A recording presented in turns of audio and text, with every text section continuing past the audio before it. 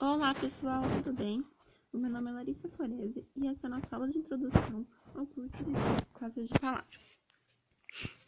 Bom, como eu já disse, meu nome é Larissa Forese, eu sou técnica em nutrição e dietética, eu também fiz um curso de espanhol e sou graduada em nutrição. E essa é a minha segunda, o segundo curso aqui no Unacademy. Bom, como eu já falei, o nosso curso será sobre classes de palavras, que é uma, um estudo dentro da morfologia. Morfologia, é, se você dividir ela, né, estudar cada parte da palavra, é morfo significa forma e logia, estudo. Então, morfologia significa o estudo da forma. Portanto, não estudaremos as relações entre as palavras, o contexto em que elas são empregadas, ou outros fatores que podem influenciá-las, mas somente a forma da palavra. Bom, o que são as classes de palavras? São o substantivo, o verbo, o adjetivo, o pronome, o artigo, o numeral, a preposição, a conjunção, a interjeição e o advérbio. Cada uma dessas é, um, é uma classe de palavra.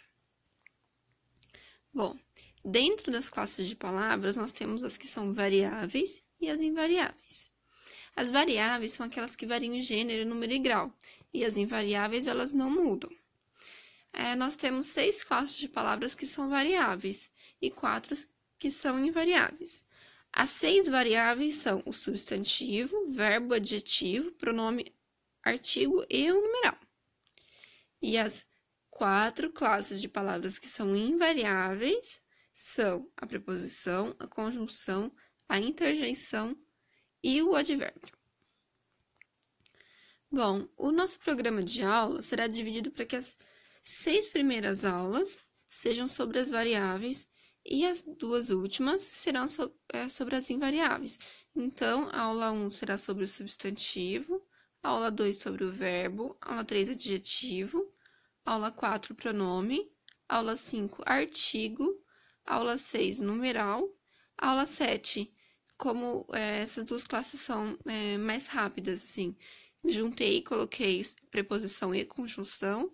E a aula 8, pelo mesmo motivo, será sobre interjeição e o advérbio. Bom, gente, isso era o que eu tinha para falar nessa introdução. É, na próxima aula, nós vamos começar com substantivos. E até a próxima. Tchau!